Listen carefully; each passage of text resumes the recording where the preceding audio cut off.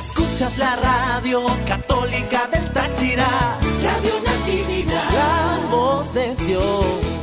Bienvenidos nuevamente queridos amigos de Radio Natividad, que juntos durante estas cinco semanas del tiempo de la cuaresma hemos recorrido, hemos hecho este camino de conversión, de ayuno y de abstinencia para prepararnos a lo que es la celebración inminente de los misterios de la pasión, de la muerte y de, la resurrección de nuestro Señor Jesucristo en la Semana Santa, la Semana Mayor.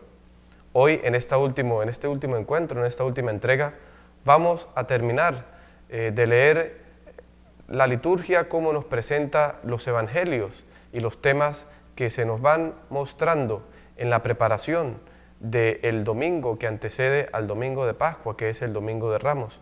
Y entonces estaremos entrando con Jesús no solamente en la ciudad de Jerusalén, sino que estaremos entrando con Él en el cenáculo para celebrar la Eucaristía. Estaremos caminando con Él por la vía dolorosa de la cruz, estaremos con Él en el Calvario, estaremos con Jesús, con María y con las otras mujeres, acompañándolo en el sepulcro para depositar su cuerpo muerto sobre la losa fría y estaremos encontrándonos con Jesús el domingo de resurrección, encontrándonos también con el sepulcro vacío.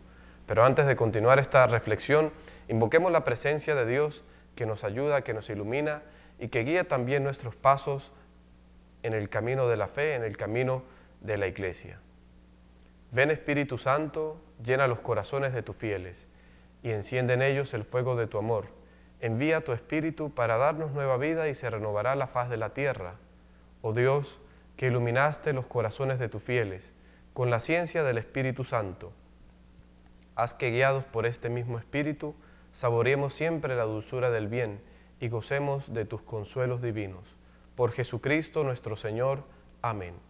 Santa María, Madre y compañera de nuestro camino cuaresmal, ruega por nosotros. En el nombre del Padre, y del Hijo, y del Espíritu Santo. Amén. Queridos hermanos, como les decía, hemos llegado prácticamente ya a los últimos días de este tiempo de la cuaresma, que fue nuestro camino de preparación para la celebración dentro de la Semana Santa. Y durante esta semana, a partir del quinto domingo del tiempo de cuaresma, hemos nosotros venido escuchando una serie de evangelios que nos, nos hablan de quién es Jesús, de la verdadera identidad de Jesús. Los domingos anteriores, sobre todo a partir del tercer domingo de cuaresma, Jesús, fuente de agua viva, en el encuentro con la mujer samaritana. En el cuarto domingo de Cuaresma, Jesús que da la vista al ciego y es la luz de los hombres y la luz del mundo. Y en el quinto domingo, el domingo pasado, Jesús que resucita a Lázaro, Jesús que es la vida del mundo, la resurrección y la vida, comienza a manifestarse ya no a través de signos milagrosos, ya no a través de prodigios, ya no a través de realidades que superan las leyes de la naturaleza, las leyes de la corporeidad, las leyes de la biología, las leyes de la física, sino que Jesús comienza a hablarnos con un lenguaje más profundo, un lenguaje que revela lo que es realmente Él, el Emmanuel, el Dios con nosotros, el Dios que se ha hecho hombre y que ha hablado al corazón de los hombres a lo largo de esos tres años de predicación, a través de los signos misericordiosos que cumplió a través de las curaciones, a través de las parábolas, ahora nos revela una particularidad acerca de su identidad. Jesucristo, el Emmanuel, el Dios con nosotros, verdadero Dios y verdadero hombre, para que entonces las palabras que San Juan nos comenzará a decir durante estos días tengan pleno sentido y pleno significado.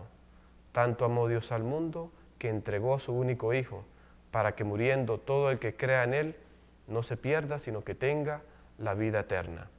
Y entonces así a partir del lunes, del martes, miércoles, jueves y viernes de esta quinta semana del tiempo de la cuaresma, Jesús nos está revelando el misterio de Dios, Dios que es trino, Dios que ya en nuestro momento se ha manifestado a nuestros padres, a Abraham, a Isaac, a Jacob, a Moisés en el episodio de la zarza ardiente del Éxodo, que ha hablado a través de los profetas, que ha hablado también de muchos personajes que ha suscitado a lo largo de la historia del Antiguo Testamento y del Nuevo Testamento. Ese Dios que es el mismo que el libro del Génesis nos habla y nos presenta como el creador de todas las cosas, está realmente presente en Jesucristo. Jesús nos ha hablado del Padre cuando nos enseñó a hablar con Él, diciéndole Padre nuestro, a orar y a llamarlo nuestro Padre que estás en el cielo. También en dos momentos bien importantes en los cuales se han manifestado la divinidad de Jesús, el mismo Padre ha dado testimonio del Hijo y del Espíritu.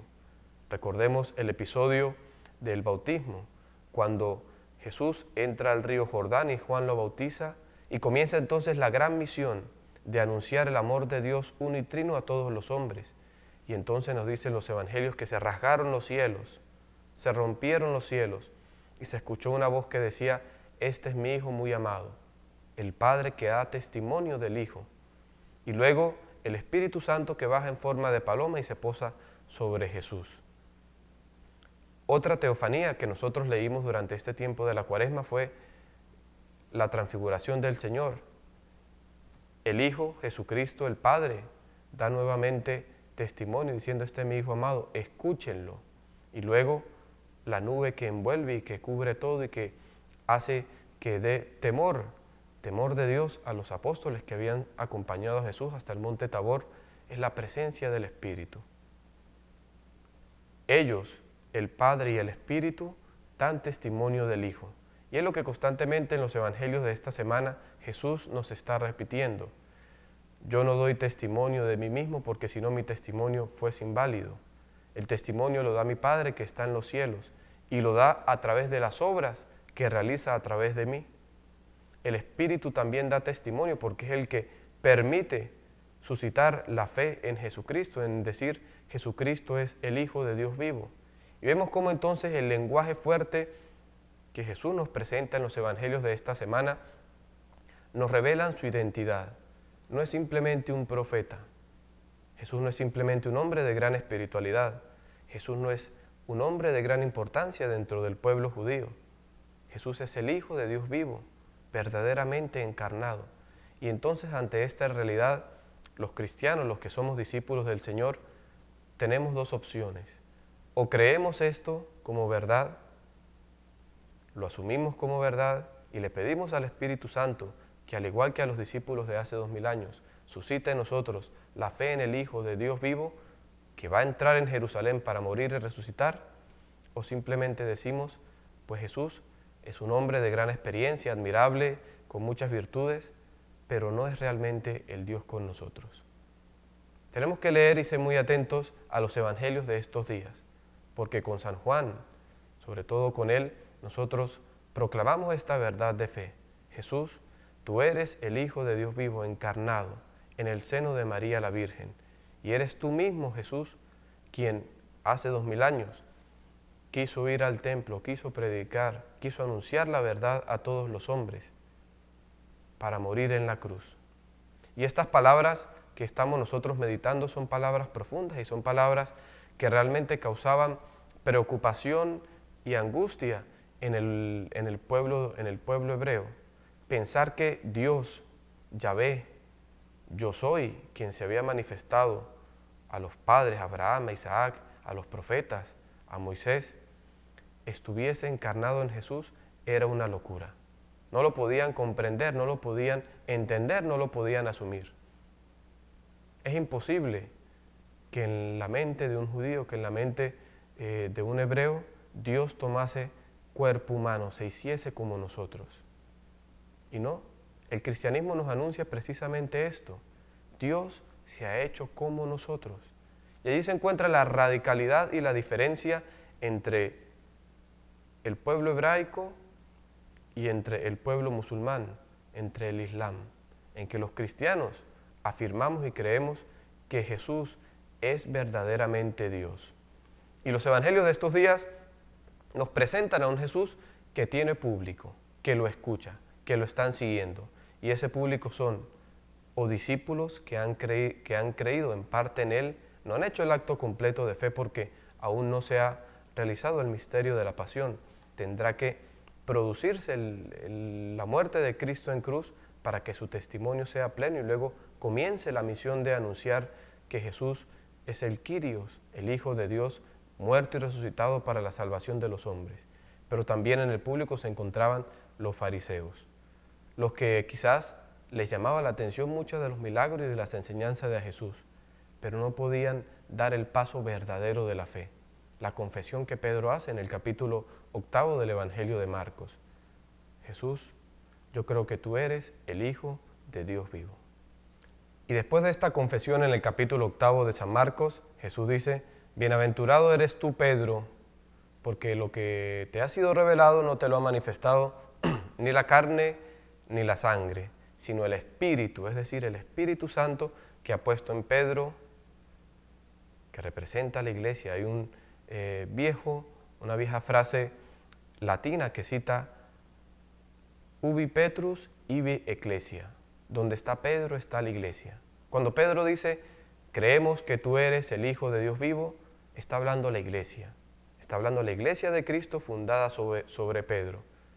Y en Pedro cada uno de nosotros ponemos esa confesión de fe y esa verdad. Señor, creemos que tú tienes palabras de vida eterna. ¿A quién iremos?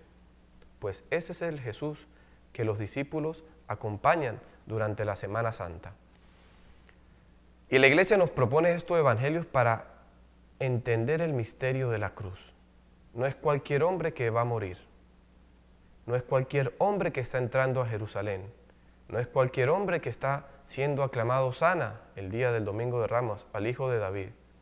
Es el Hijo de Dios, el cumplimiento de la promesa hecha a Abraham, a Isaac, a todos los personajes del Antiguo Testamento.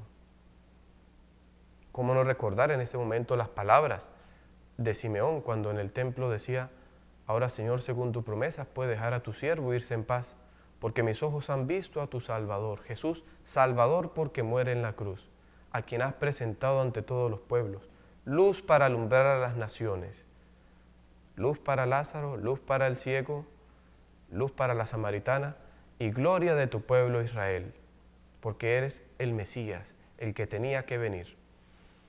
Y los fariseos buscaron en distintas ocasiones, después de que Jesús revelaba esta íntima unión, esta estrecha unión entre Él y su Padre, entre el Padre, Él y el Espíritu Santo, muchos momentos para tirarlo por, un despeñadero, para matarlo, para echarle las manos encima, para tentarlo, para apedrearlo.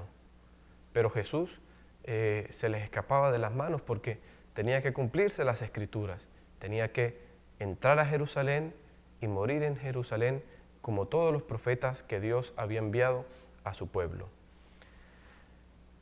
Y una vez que nosotros hemos culminado en cierta parte con esta confesión de fe, Jesús, tú eres el Hijo de Dios vivo, el camino de la cuaresma, entramos con Él a Jerusalén. Y va a ser la celebración del Domingo de Ramos. Domingo de Ramos y Domingo de la Pasión. Nosotros los cristianos celebramos en día domingo los grandes misterios de nuestra fe. La resurrección. Y podríamos preguntarnos, pero ¿por qué entonces celebramos la muerte en viernes? La celebramos también en domingo. Tengamos mucha atención a los signos litúrgicos. Son dos los evangelios que en Domingo de Ramos vamos nosotros a leer. El evangelio de la entrada triunfal a Jesús al inicio de la procesión de los ramos, en el momento en que el sacerdote bendiga en las diferentes comunidades los ramos, y luego la celebración de la Eucaristía, donde se leerá la pasión del Señor. En este caso, en este año del ciclo A, la pasión según San Mateo. Y allí entonces escucharemos en domingo el misterio de la muerte de Cristo. Durante esta semana los, fariseos planearon la muerte del Señor y la celebraremos y la escucharemos en domingo. Y habrán también otros signos que aparecen en el domingo de ramos. La palma o los ramos. No solamente los presentamos nosotros en, en este día para imitar aquello que los judíos hicieron cuando sabían que Jesús venía entrando a Jerusalén. No solamente los llevamos para tener la cruz bendita, de ramo bendito en nuestra habitación, o en nuestra cartera, o en nuestro vehículo, o en el sitio donde trabajamos, sino que la palma ha sido utilizada ya dentro de la tradición cristiana como signo del martirio, como signo del testimonio. De hecho, las primeras representaciones de los mártires que se configuraban a Cristo a través de su muerte y de su derramamiento de la sangre, era hecha a través de una palma del martirio que significaba el triunfo. Y nosotros vamos aclamando a Jesús ciertamente, pero también esa palma representa el triunfo de Cristo sobre mi vida. Yo tengo la palma del testimonio, del martirio de Cristo, porque he sido incorporado a su iglesia a través del bautismo. He sido incorporado también a través del bautismo a su muerte y a su resurrección. Es un signo doble. Aclamamos a Jesús, hijo de David, que entra triunfante, montado sobre un borrico, sobre un burro, hacia la ciudad santa, la, ciudad donde se encuentra el templo, pero también porque la palma es signo del martirio, símbolo del martirio. Las catacumbas en Roma y en otras ciudades importantes de Europa donde se enterraron los primeros mártires están adornadas de pinturas y de tallas en mármol de palmas, porque la palma significa el triunfo. De hecho, en los Juegos eh, imperiales se entregaba la palma del triunfo, la palma de la corona de laurel. Cristo es el que ha triunfado sobre la muerte a través de la cruz, domingo de la pasión del Señor. Otro signo importante que nosotros veremos es el color de la vestidura del sacerdote. Durante el tiempo de la cuaresma sabemos que el morado es el color penitencial y es el color eh, que nos invita al ayuno, a la oración y a la conversión.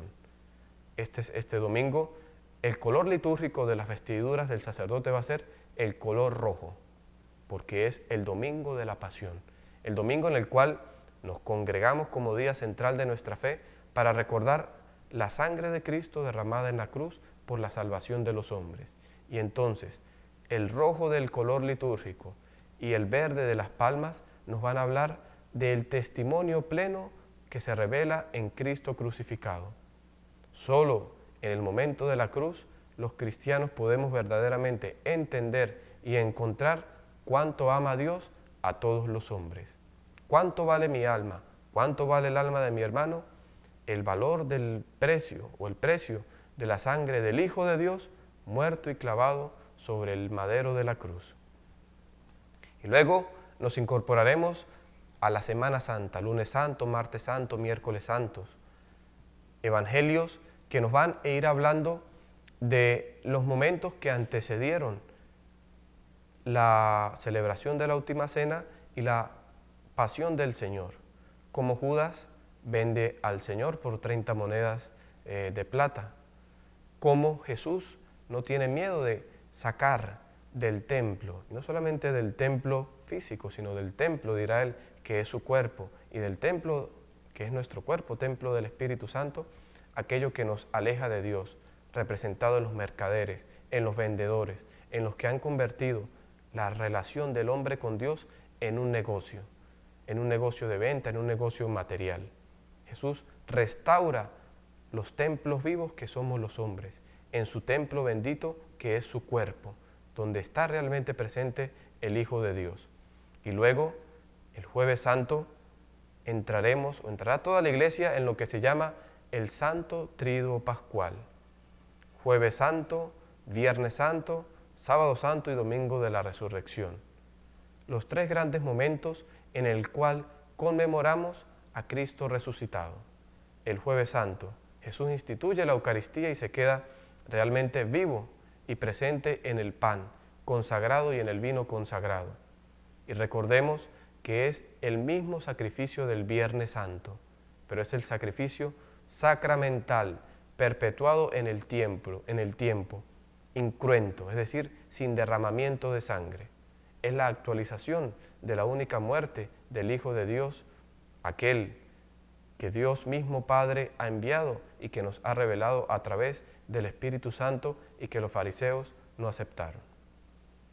Y entonces en jueves los cristianos nos reuniremos para celebrar nuevamente la Eucaristía para recordar que ese es el memorial de la muerte de Jesús, de la pasión de Cristo, de Dios mismo que se ha hecho presente en el pan para continuar su obra salvadora, su obra redentora a lo largo del tiempo y a través de su iglesia y de sus sacerdotes.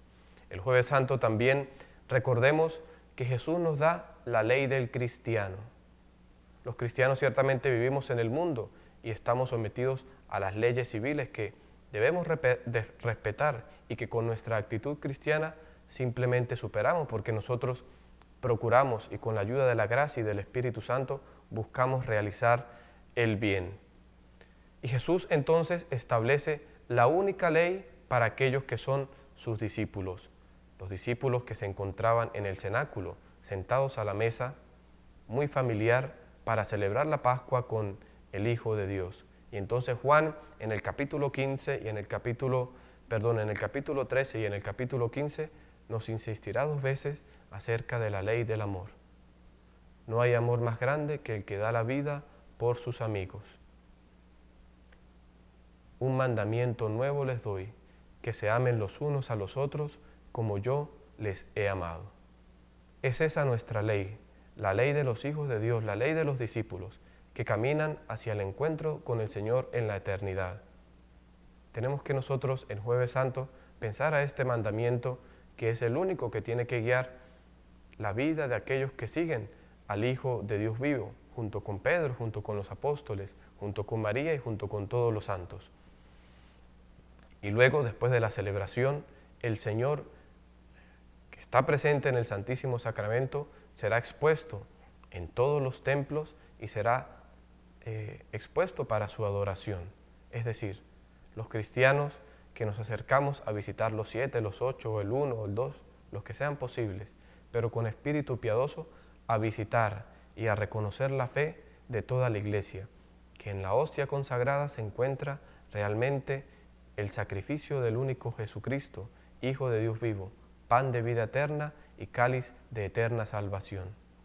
Esa es la gran manifestación de fe del jueves santo, la institución de la Eucaristía, la adoración de la Eucaristía, la institución del sacerdocio, los sacerdotes que ofrecemos el sacrificio de Cristo y por supuesto el mandamiento que realmente nos hace cristianos. Decía eh, los primeros cristianos que no se reconocían porque se, vestían, se vestían de una manera u de otra, ni porque iban a un sitio u a otro, sino porque simplemente los miraban cómo se amaban, cómo se querían, cómo ponían en práctica este mandamiento y eso daba testimonio de que eran discípulos del Señor. En Viernes Santo, nuevamente, segundo día del trido pascual, nos acercaremos para la celebración del Via Crucis y otras actividades de piedad cristiana, como las procesiones eh, con el Santo Cristo, con el Santo Sepulcro, con la imagen de la Virgen Dolorosa, para la celebración de la homilía de las siete palabras. Pero ante todo, ese día es un día de silencio, es un día en el cual no se celebra la Eucaristía, porque al mismo tiempo, el día viernes, habla ya de aquello que en la Eucaristía se hace presente. Cristo ha muerto, Cristo se ha sacrificado por la humanidad.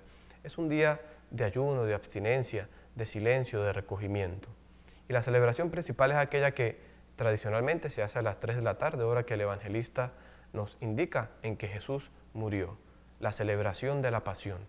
Y entonces en esa celebración de la pasión nosotros escucharemos nuevamente el relato de la pasión de Jesús, ya no de Mateo, ni de Marcos, ni de Lucas, sino la que corresponde a todos los años en el día Viernes Santo, la pasión según San Juan, que es un relato especial de la pasión porque fue el discípulo amado que se encontraba a los pies de la cruz y que acompañó a María a lo largo de ese camino de la cruz, de ese Via Cruz y acompañó a Jesús.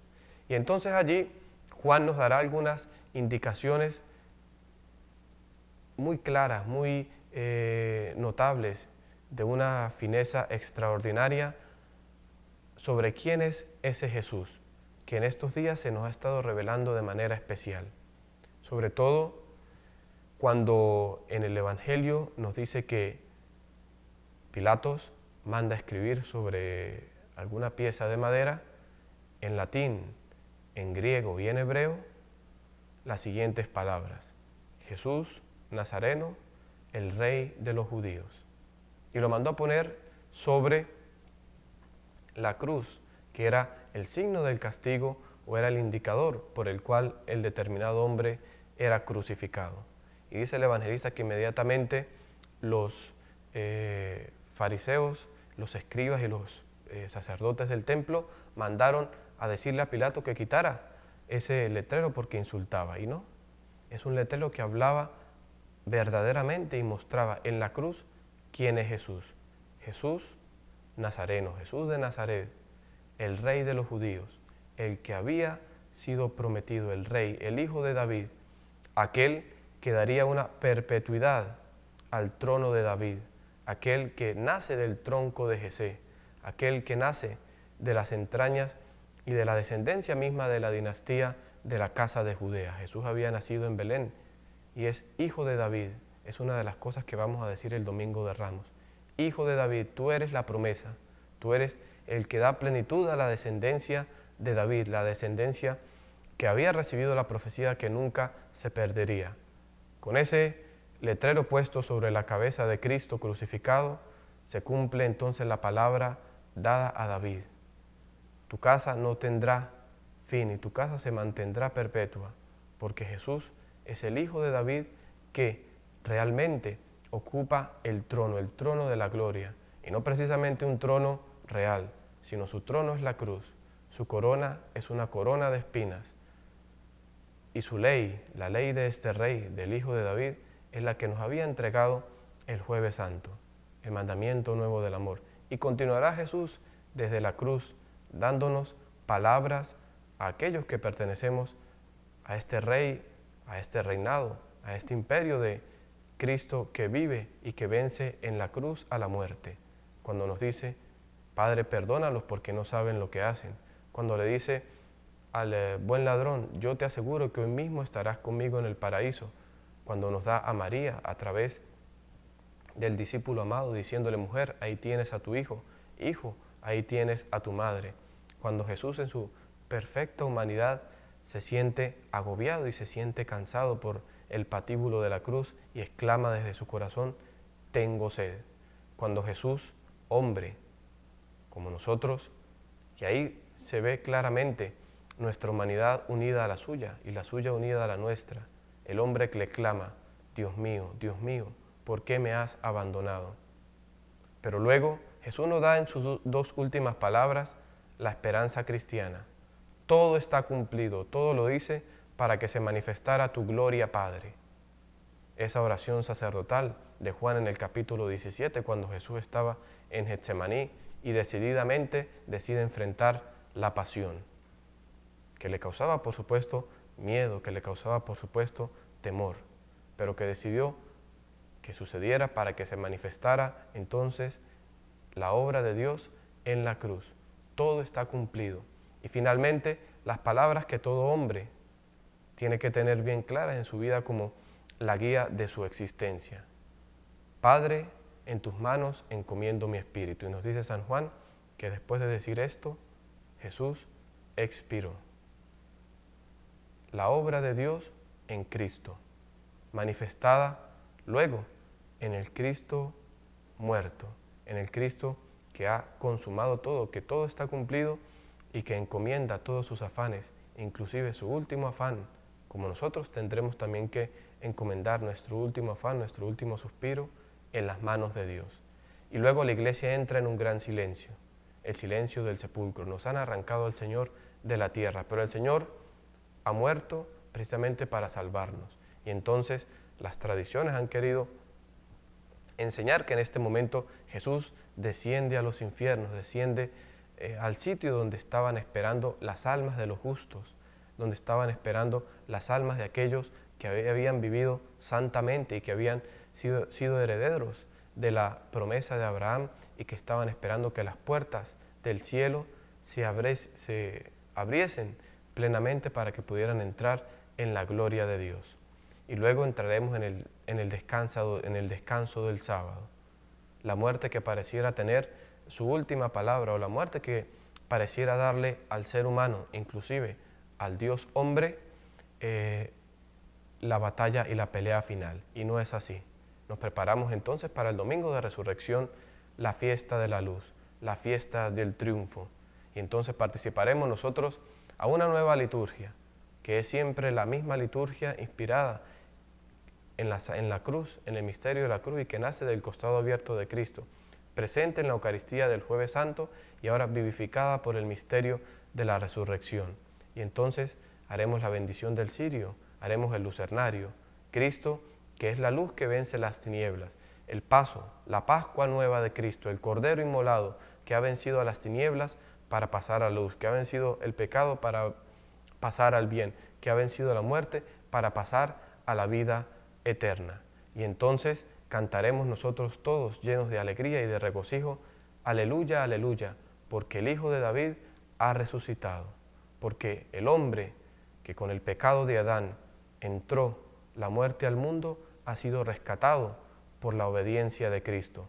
Con el no de Adán se han cerrado las puertas del cielo, pero con el sí de Cristo en la cruz, con el sí de Cristo en el Getsemaní, se han abierto de par en par las puertas del cielo y la puerta de la vida eterna para todos los hombres. ¿Cómo entonces no cantar aleluya? ¿Cómo entonces no regocijarnos? ¿Cómo entonces no cantar el gloria? Si Dios ha sido verdaderamente grande y bondadoso con nosotros en Jesucristo, que es el Emmanuel, el Hijo de Dios vivo. Pidámosle al Señor entonces que nos ayude a entrar con piedad, con amor, con devoción y acercarnos con una fe más profunda a estos misterios de nuestra fe, celebrados también con ritos externos que nos ayuden a crecer en nuestra espiritualidad, en nuestra vida interna, en nuestra comunión con Dios. Y antes de terminar este último encuentro, pidámosle a la Santísima Virgen María, ella que estuvo al pie de la cruz, no la abandonó, sino que junto con su Hijo Jesús estuvo diciéndole sí al plan de Dios, sí al proyecto de Dios para la salvación de los hombres. Pidámosle que nos ayude a entender y a encontrar el plan de Dios en nuestra vida para poderle decir sí a la cruz en nuestra vida y sí a la vida y a la resurrección en nuestra existencia. Dios te salve María, llena eres de gracia, el Señor es contigo, bendita eres entre todas las mujeres, y bendito el fruto de tu vientre Jesús. Santa María, Madre de Dios, ruega por nosotros pecadores, ahora y en la hora de nuestra muerte. Amén. Que María nos lleve a su Hijo Jesús, para ser discípulos que creemos y que luego nuestro encuentro con el Señor crucificado, con el amor de Dios que se ha manifestado en Jesucristo, nos lleve también a ser testigos, mártires, como Jesús, de la verdad que viene a iluminar a toda la humanidad y a todos los hombres. Jesucristo nuestro Señor, por supuesto pidiendo la asistencia de la gracia del Espíritu Santo. El Señor esté con ustedes y la bendición de Dios Todopoderoso, Padre, Hijo y Espíritu Santo, descienda sobre ustedes, les bendiga, les guarde y permanezca para siempre. Buena Pascua y feliz celebración de la resurrección para todos.